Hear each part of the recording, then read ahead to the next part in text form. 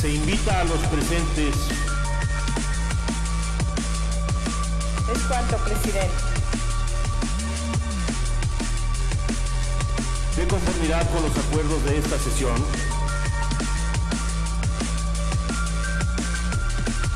Cierres el sistema electrónico. Sueña, presidente. Adelante. Estimadas compañeras y compañeros legisladores, como han escuchado, los oradores que han pasado, me han antecedido en la palabra, han argumentado las ventajas y desventajas del endeudamiento, tanto federal como estatal, pero también han remarcado una circunstancia que estamos aprobando en esta eh, minuta sobre las funciones del Senado y de la Cámara de Diputados. Quiero concentrar mi reflexión. Antes quiero decir que la fracción del Verde Ecologista va a apoyar esta minuta porque tiene más de un año y medio que se está discutiendo el tema y no habíamos logrado concretar, aprobarla en las dos cámaras, precisamente por ese problema de la comisión bicameral. Pero ahorita vamos a revisar eso. Quiero hacer la siguiente observación. En primer lugar, que no todos los estados de la República así como lo han dicho los que me han antecedido en la palabra, hacen un mal uso de los recursos. Que si bien es cierto que algunos malos gobernantes han utilizado malos recursos, eso no es justificación desde mi punto de vista para hacer los cambios que estamos haciendo, concentrando funciones, así como nos quejamos de que el Senado está disminuyendo nuestras funciones, nosotros le estamos disminuyendo las funciones a los congresos locales. Y quiero hacer esa observación a propósito de que muchos de los que estamos sentados aquí o hemos sido gobernantes locales o queremos ser gobernantes locales en el futuro. ¿Y esto por qué? Porque si bien es cierto tenemos que controlar el gasto, tanto federal como estatal, también tenemos que cuidar el desarrollo de la democracia estatal y este tipo de minutas, a pesar de que están resolviendo una coyuntura ante la población que exige inconforme sobre la corrupción y la falta de transparencia en el uso de los recursos públicos, también tendríamos que estar cuidando que los congresos locales y su relación con los gobernadores en los estados se fundamentara en un equilibrio de poder y se fundamentara en nuestro principal objetivo de fortalecer la democracia estatal y nacional.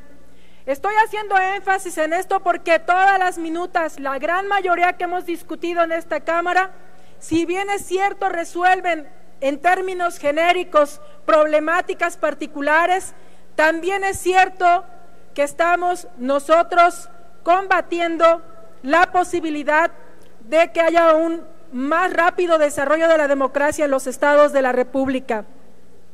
No tenemos argumentos para poder decir que en este momento no se haga lo que estamos haciendo, dado las condiciones de endeudamiento de los estados y que tenemos que poner límites a ese endeudamiento.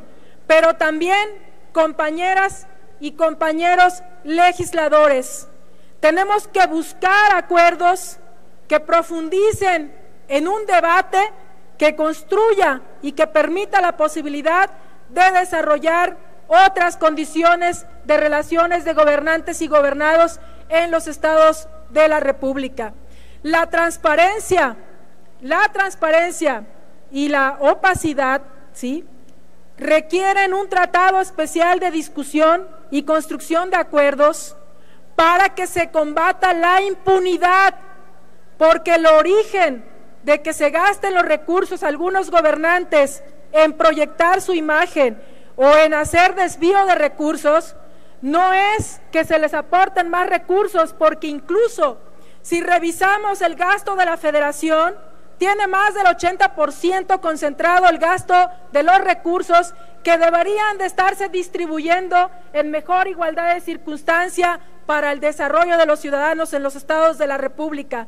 El origen de esta problemática que estamos discutiendo aquí tiene que ver con la impunidad y con que hay gobernantes que aún cuando se les comprueba que hacen un mal uso de los recursos, no se les han fincado responsabilidades o peor aún, si se les fincan responsabilidades son tan menores que al segundo día o al primer día pagan una fianza y se van riéndose de la poca justicia y procuración de justicia que se da en muchos de estos casos. Compañeras y compañeros, la minuta que hoy vamos a votar y que espero que la podamos votar a favor todos, todavía va a tener un filtro. Y ese filtro es el constituyente permanente. Y yo espero que verdaderamente en los estados de la República logremos convencer a los congresos locales de que esta minuta sea aprobada por la mayoría de ellos, porque necesitamos que más del 50% de los congresos locales también acepten este cambio.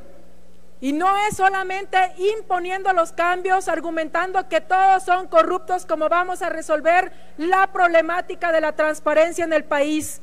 Vuelvo a insistir que tenemos que construir otro tipo de relación con los compañeros que están en los congresos locales y, ¿por qué no?, con los propios gobernantes de los estados de la República. No todos son corruptos, no todos hacen un mal uso de los recursos y lo que sí estoy de acuerdo es en los cambios que se realizan para obligar a que los recursos que son de deuda tengan que ser de inversión, pero también pediría que esta soberanía ponga atención en la discusión del presupuesto que se hace anualmente para que cambien las condiciones de distribución de los recursos federales para fortalecer las finanzas públicas de los eh, estados de la República.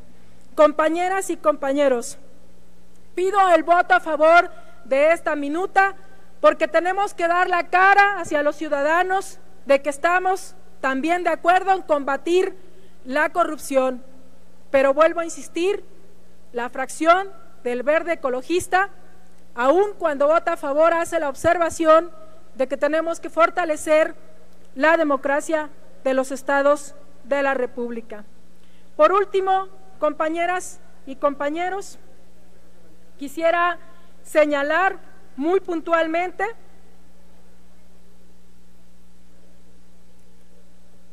y lo hemos escuchado, que no es esta la única acción que se está realizando afortunadamente para combatir la corrupción y la falta de transparencia. Quiero aprovechar mis últimos minutos para hacer un reconocimiento al presidente de la República por los anuncios que se hicieron ayer, precisamente de acciones que tienen que ver con combatir la corrupción. Creo que ha sido una muestra ejemplar que el presidente de la República haya pedido ayer que se le investigue a él mismo y a su esposa por todo lo que ha sucedido. Tenemos que generar confianza y esa no solamente es responsabilidad del Ejecutivo Federal, es responsabilidad también de los legisladores, porque no me digan que los legisladores tenemos muy buena presencia pública respecto a la transparencia.